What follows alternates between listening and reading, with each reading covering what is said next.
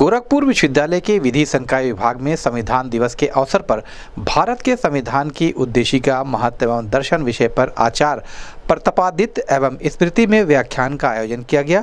आयोजन के अनुक्रम में विधि विभाग में आचार प्रतिपादित स्मृति विशेष व्याख्यान का आयोजन किया गया। इस दौरान कार्यक्रम में मुख्य अतिथि के रूप में पहुँचे सेंट एंड्रयूज कॉलेज के पूर्व उपाचार्य ने दीप प्रज्वलित कर कार्यक्रम का शुभारंभ किया।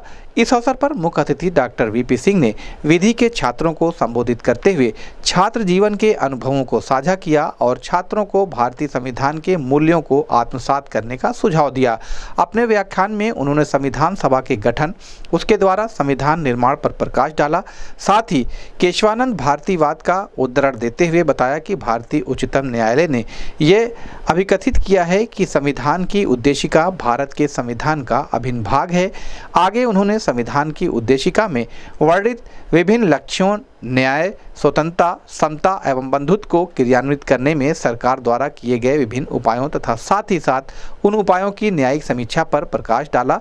उन्होंने कहा कि उन्नीस में एल एम सिंधवी जी ने यह प्रस्ताव रखा कि 26 नवंबर को प्रतिवर्ष विधि दिवस के रूप में मनाया जाना चाहिए तथा यह प्रस्ताव सबके द्वारा सहज स्वीकार किया गया और तब से 26 नवंबर को प्रतिवर्ष विधि दिवस के रूप में मनाया जाने लगा तथा वर्ष 2015 में भारत सरकार द्वारा इस दिवस को एक नए नाम संविधान दिवस के रूप में मनाए जाने की शुरुआत की गई।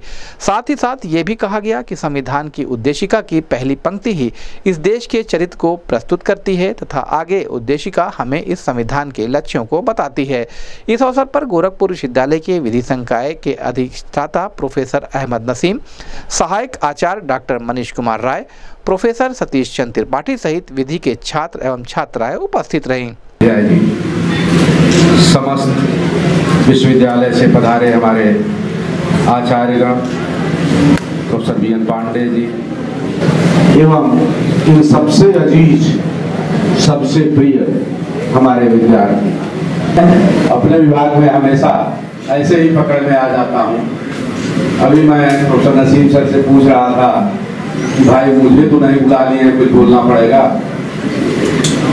तो मैं आज के पवित्र संविधान दिवस के पूरे अवसर कि आप समस्त लोगों को, सभी लोगों को विद्यालय की ओर से सबको हार्दिक बधाई और शुभकामनाएँ सभी लोगों को बहुत बहुत एवं आचार्य प्रतापादित्य राम त्रिपाठी जी के संविधान का महत्व क्या है, संविधान क्यों?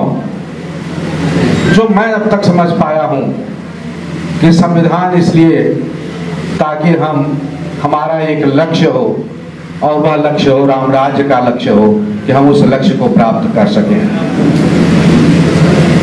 क्यों? क्योंकि संविधान हमेशा एक गुड गवर्नेंस की बात करता है। गुड गवर्नेंस की प्रेरणा देता है।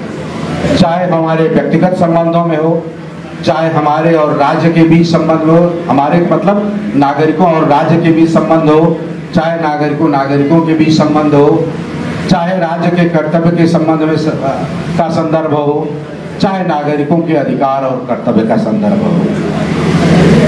हर संदर्भ में हमें एक आदर्श स्वरूप प्राप्त करने की प्रेरणा देता है हमारा संविधान। और आदर्श स्वरूप की प्रेरणा जो है वह आदर्श स्वरूप क्या है? गुड गवर्नेंस क्या है? गुड गवर्नेंस राम राज्य यह ये गुड गवर्नेंस क्या है? जब हम कभी वैसे मैं रामायण गीता का अध्ययन मेरा एकदम सिफर है, शून्य है, लेकिन जो कुछ मैं देख पाता हूँ, उससे हमें यह लगता है कि एक दो मुद्दों पर हो सकता है किसी को कोई उसमें आपत्ति आए, लेकिन जो मैं देख पाता हूँ, उसमें हमें जो लगता है, कहाँ राम राज्य की अवधारणा मिलती है। शुरुआत से ही आज हम लोग प्रस्तावना को रिसाइड किए हैं, दोहराए हैं और पूरा ओथ के साथ दोहराए हैं। हमको उसमें सॉवरेन सोशलिस्ट सेकुलर रिपब्लिक ये सभी शब्द मिलते हैं जो समाहित किए गए हमारे संविधान में। कहीं न कहीं हमको मानस में मिल जाते हैं, चाहे वह कंबन रामायण हो, चाहे वह तुलसीदास कृत रामचरित मानस हो, चाहे वाल्मीकि कृत रामायण हो, जितने तरह के हम रामायण पढ़ेंगे, उन सब में संप्रभुता हमारी बनी रहे, इसकी बात की गई है। राज्य अक्षुण रहे इसलिए अश्वमेध यज्ञ की भी बात की गई है। राज्य संप्रभुता का एक लक्षण अश्वमेध यज्ञ होता है। हर युग में रहा है। हर युग में राज्य की संप्रभुता को रखने की बात की गई है और राम राज्य में भी यह रहा है। समाजवाद, धर्मनिरपेक्षता की बात पंथ निरपेक्षता की बात और गणतंत्र की बात, यह भी हमें राम राज्य में मिलती है। साथ ही साथ न्याय, समता, बंधुता राज्य की एकता और अखंडता, ये सब हमारे संविधान में किसी न किसी रूप में हमें मिलते हैं।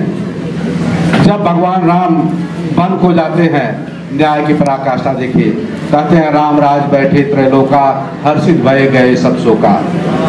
उस पूरे स्टेंजा को अगर हम पढ़ेंगे तो उसमें मिलता है कि न किसी इसमें कोई बैर था। न किसी में कोई कुछ था। सब लोग समान थे। सभी लोग एक घाट बाघ और बकरी पानी पीते थे। समता का इससे बड़ा कोई उदाहरण नहीं मिल सकता। न्याय की बात जब आप करते हैं तो भगवान न्याय देते हैं और कहते क्या हैं? न्याय देते समय कहते हैं, जब बाल का वध हुआ तो बाल ने पूछा, कारण कौन नाथ मैं मारा? मैं बहरी सुखरी वह प्यारा। भगवान कहते हैं कि अनुज वधु भगनी सुतनारी सुन सठे कन्या समचारी इन्हें इससे बढ़ पराकाष्ठा हो सकती है?